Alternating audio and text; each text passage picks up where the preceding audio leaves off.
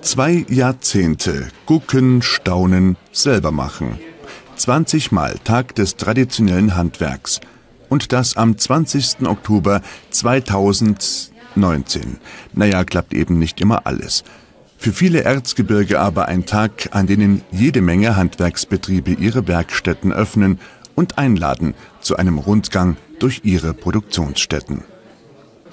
In diesem Jahr wieder mit dabei Heiko Kretschmer aus Brünnlos, vielen auch bekannt unter dem Namen HK Holz. Im vergangenen Jahr vermasselten dem Tischlermeister eine Baustelle auf der Dorfstraße und das Sturmtief Fabienne die Tour, als große Teile seines Daches sprichwörtlich vom Winde verweht wurden. Nun, ein Jahr später, erinnert erst einmal nicht mehr viel an den entstandenen Schaden, und es scheint, als sei bei HK Holz die Normalität wieder eingezogen. Gut besucht war die Werkstatt und der Ausstellungsraum des Tischlermeisters an den Adressen Dorfstraße 22a und 31.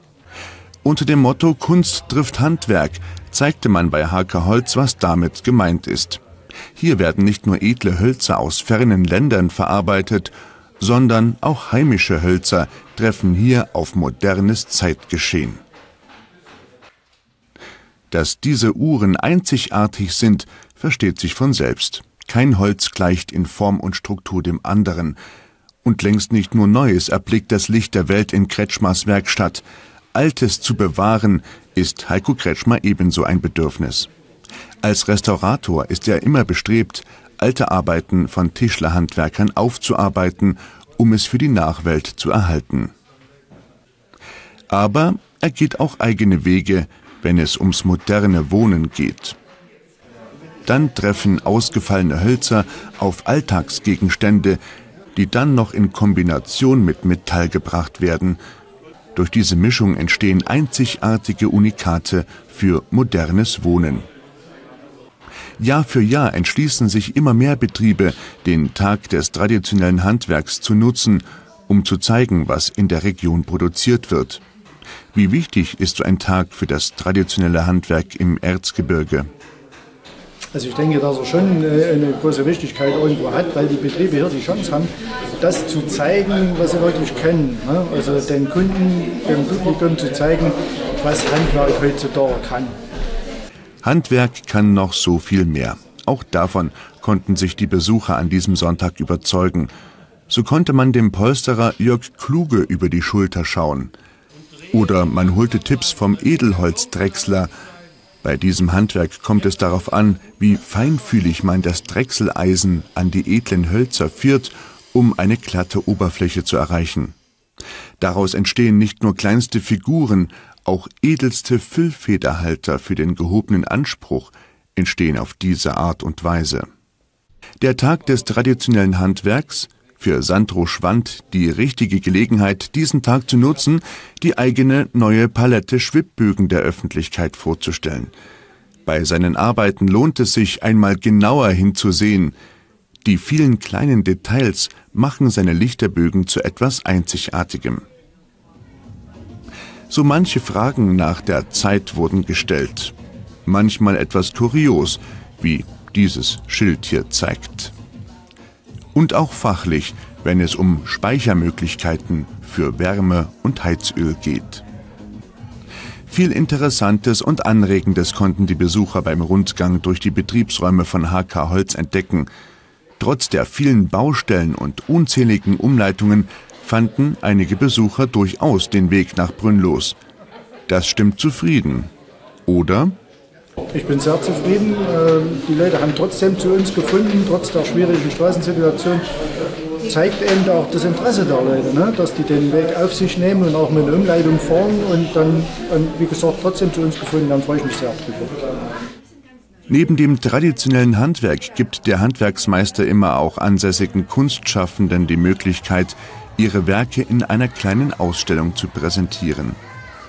Aufsehen erregt hier besonders Andreas Grunert mit seinen Bleistiftkindern. Er hat eine breite Palette seiner Porträtbilder mitgebracht. Neben prominenten und bekannten Persönlichkeiten des Alltags zeichnet er aber auch Tiere. Andreas Grunert legt sehr viel Wert auf absolute Detailgenauigkeit.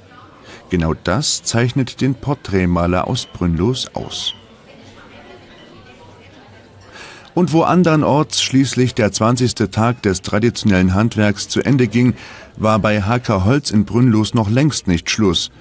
Mit einer Buchlesung sollte dieser Tag kulturell ausklingen. Der Verein Fürwort hat sich angemeldet, um spannende Lektüre zu präsentieren, die aus der Feder einheimischer Erzgebirger stammt. Vorgestellt wurden die Autoren von Andreas Schiek. Er fühlte den Autoren auf den Zahn, um Näheres zu erfahren. Anfang des Jahres brachte Annette Steiner-Kretschmer ihr Buch Herzgrube auf den Markt. Dieses Buch hat die Stadt Annaberg und den Kommissar Lorenz zum Hintergrund. Hauptkommissar Lorenz entschied sich für seine Lieblingsstrecke durch Burkhardsdorf, Thum und Ernfriedersdorf über die B95. Wo die B101 in einer starken Kurve bergauf nach Annaberg führte, lenkte er den Wagen geradeaus in Richtung Frohnau. Dieser Ortsteil Annabergs war durch das Industriedenkmal Frohnauer Hammer bekannt. Das historische Hammerwerk mit angeschlossenem Museum und Gaststätte gehörte bei Lorenz zum Standardprogramm, wenn er Besuch von außerhalb bekam. Genauso wie der Markus Röhlingstollen. Die einstündige Führung durch das Besucherbergwerk gefiel jedoch in der Regel nur seinen männlichen Gästen, den Frauen war es unter Tage bei nur 8 Grad meist ein bisschen zu kühl. Heute ließ er den Parkplatz beim Stollen links liegen und folgte dem mit Betonplatten belegten Weg, der weniger Ähnlichkeit mit einer Straße als mit einem Pfad hatte in Richtung Bergschmiede. Die zweite Autorin war Claudia Kurt. Sie stellte ihr Buch Erzgebirgsmärchen vor. Das erscheint noch im November dieses Jahres und soll auf märchenhafte Weise Lust machen, die Erzgebirgsregion zu entdecken. Seit Tagen schon suchte Trixie nach dem Rezept. Es ist zum Mäusemelken, rief sie. Alle 75 Jahre musste sie diesen besonderen Getreidebrei mit einem ganz besonderen Kraut zubereiten. Und das alles nur, damit sie nicht diese krumme Nase, den schrecklichen Buckel und diese riesige Warze im Gesicht bekommen würde, die für Hexen ihres Alters so typisch waren. 300 Jahre war sie nun schon alt und Auxilius, ihr gedrehter Zauberstab, gab ihr zu verstehen, dass die Zeit für dieses Ritual wieder gekommen war. Nun kramte Trixie nach dem alten, ach was, uralten Zauberbuch. Es war so groß, dass es Platz in einer Kleidertruhe fand und diesen Platz auch ausfüllte. Ein ganz anderes Thema hat Katrin Ulbrich mitgebracht. Sie schreibt das Heft Bergdoktor. Das Heft mit seinen Geschichten gibt es bereits seit 30 Jahren und die bekannte Fernsehserie gleichen Namens stammt von dieser Heftreihe ab. Seit 18 Jahren schreibt nun Katrin Ulbrich diese Hefte und holt ihre Inspirationen aus dem Heimatort des Geschehens und aus der freien Natur. Jesus, Maria und Josef. Atemlos kommt die Bachhuber-Zensi an diesem nebligen Herbstabend von einem Besuch bei ihrer Freundin Alma nach Hause und bekreuzigt sich. Unterwegs hat sie den Kästler Holger gesehen. Dabei ist der junge Landwirt vor vier Jahren tödlich verunglückt. Allerdings hat man seine Leiche nie gefunden. Wie ein Lauffeuer spricht es sich in St. Christoph herum, dass ein geheimnisvoller Mann in den Bergen umherstreift, der den Jungbauern zum Verwechseln ähnlich sieht. Oder ist er es etwa tatsächlich?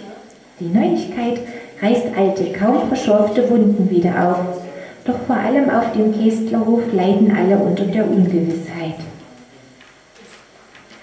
Mit brennenden Augen starrte er ins Tal hinunter.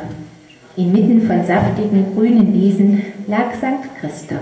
Die gepflegten Bauernhöfe wirkten, als hätte der Herrgott seine Hand geöffnet und sie willkürlich auf den Hängen verstreut. Wanderer mit Rucksäcken strebten über die Dorfstraße dem Hotel zu und irgendwo in der Ferne tuckerte ein Traktor übers Feld. Wie friedlich es hier ist, ging es dem einsamen Mann auf der Anhöhe durch den Kopf. Zumindest noch. Wer kennt es nicht? Das merkwürdige Ereignis 1908 um den Ort Tunguska. Bis heute ranken sich fragwürdige Geschichten um diesen Ort, das lässt viel Spielraum für freie Gedanken. Dieses Thema hat sich Mario Ulbrich ausgesucht und erzählt in seinem Buch die spannende Geschichte um Erik Maurer und seinen Jagdbogen. Er brachte ihm eine Einladung eines russischen Milliardärs und eine ebenso spannende wie außergewöhnliche Expedition ein. Sibirien, untere Tunguska, Oktober 1911, drei Jahre nach der Katastrophe. Ein Mann mit drei Armen taumelte aus dem Wald. Die Tungusen, die ihn fanden, waren zähe Jäger. In den Jahren seit dem großen Donner hatten sie viel Schreckliches gesehen, doch der Anblick des Mannes mit den drei Armen erschütterte sie zutiefst. Seine Kleider waren zerrissen, seine nässende Haut war zerstochen von den Mückenschwärmen der Taiga, sein Haar so weiß wie sibirischer Neuschnee. Beinahe hätten sie ihn nicht wiedererkannt. Schischkow, murmelte einer der Jäger. Dann lauter, Schischkow! Der Name machte murmelnd die Runde unter dem halben Dutzend Jägern, die unterwegs waren, um die Birkenwälder zu erkunden, wie so viele Angehörige ihres, Vol die so viele Angehörige ihres Volkes in einem Feuersturm verschlungen hatten. Eine spannende Geschichte im fernen Russland. Was die Expedition im steinigen Tunguska noch alles erleben muss, darauf sind auch die Jäger nicht vorbereitet. Ja, und mit dieser kulturellen und spannenden Lesung endet nun auch der 20. Tag des traditionellen Handwerks in Brünnlos bei HK Holz.